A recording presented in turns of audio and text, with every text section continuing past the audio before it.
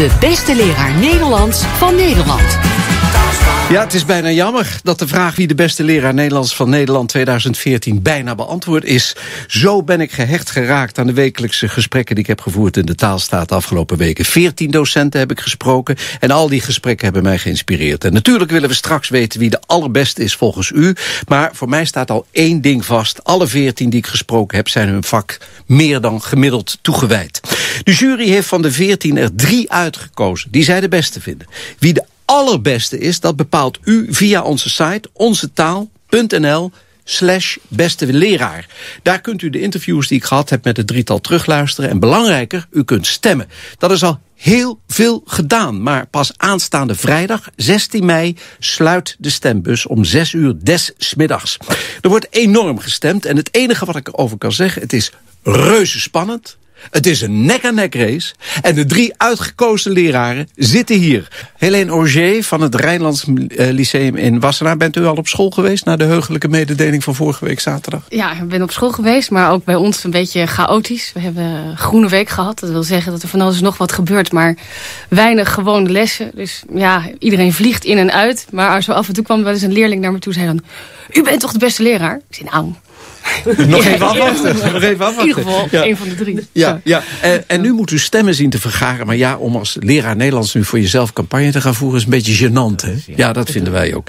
Uh, dat ga ik u dus ook niet vragen. Maar ik ga u wel wat vragen stellen... waar eventuele stemmers luisteraars hun voordeel mee kunnen doen. Ik heb nog een kleine verrassing voor u aan het eind van dit gesprek. Mevrouw Witter, u geeft les op een VMBO-school. Uw leerlingen gaan volgende week aan het examen beginnen. Wat moeten ze voor dat centraal schriftelijk examen nou precies uh, kunnen? Uh, ze moeten een tekst kunnen doorgronden. Dus ze moeten zien wat de hoofdzaak is van een tekst. Ze moeten zien hoe als alinea's met elkaar verbonden worden. Uh, ze moeten goed hun signaalwoorden kennen. Dat zijn dus bijvoorbeeld tegenstellende voegwoorden of voegwoorden die uh, een verband aangeven. Dat is heel belangrijk. En verder moeten ze ook kunnen schrijven. Ze moeten een artikeltje schrijven of een brief. En dan moet je dus je eigen gedachten goed onder woorden kunnen brengen. En ze moeten een samenvatting maken. En u heeft ze daarvoor klaargestookt? Ja. Zijn ze er klaar voor? Ja, ze ja? zijn er ja. absoluut klaar voor. Ja hoor, ik heb gisteren nog de laatste training met ze gehad. Oh ja? Dan heb ik ze nog wat tips gegeven. En nou, ze luisterden allemaal heel goed. En ik zei, het gaat goed met jullie. Absoluut, ik ben ervan overtuigd. Het gaat elk jaar heel goed met Nederlands bij ons, dus dit jaar ook. Uh, Martijn, Martijn Koek, ooit op een VMBO les gegeven? Nee, nee. nooit op les en, en, en als u zo naar mevrouw Witter uh, luistert, is het dan heel anders? Nee, de, de, nou, het verschil in, uh, in de eisen die gesteld worden voor het examen... is dat wij schrijfvaardigheid in het schoolexamen hebben. Dus dat hebben wij niet op VWO en HAVO in het centraal examen.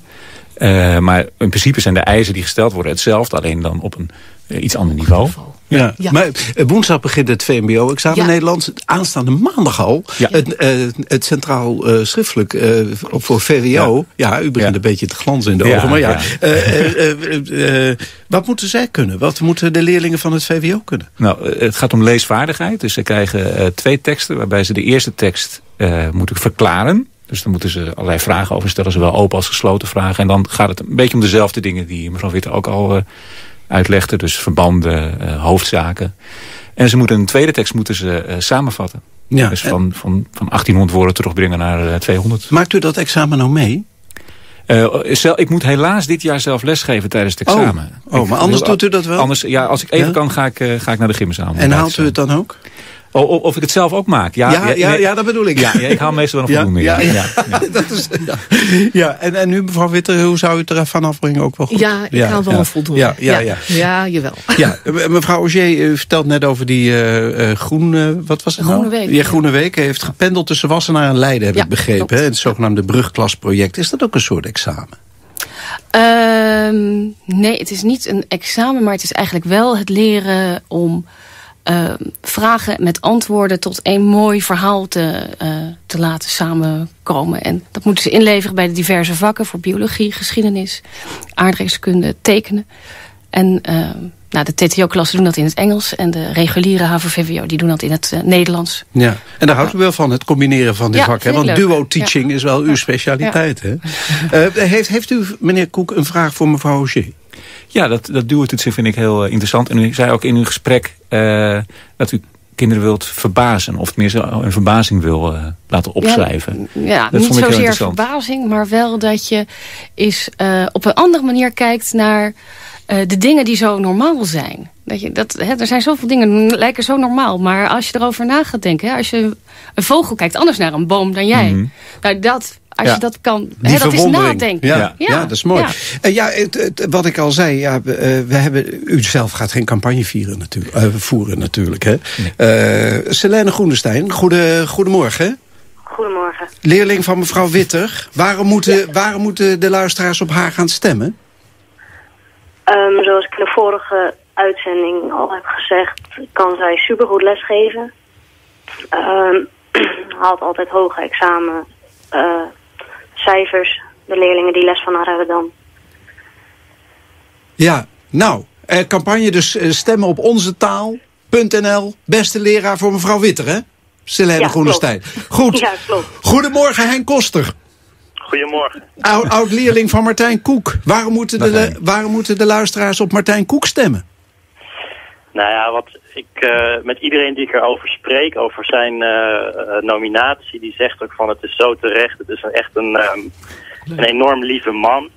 Um, die je um, Begint te heel erg inspireerde en stimuleerde om zelf je eigen pad te kiezen in de Nederlandse taal en literatuur. Het was niet dat hij uh, de saaie regeltjes allemaal voorschreef van de grammatica en um, nou, de wat saaiere krochten van de Nederlandse eh, taal.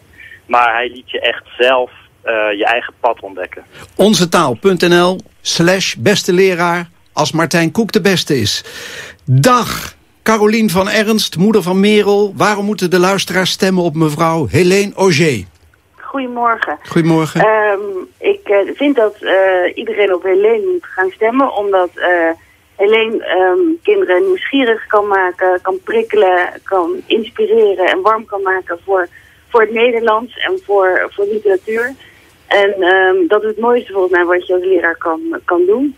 Dus uh, stem op Helene van het Rijnland Museum in Wassenaar.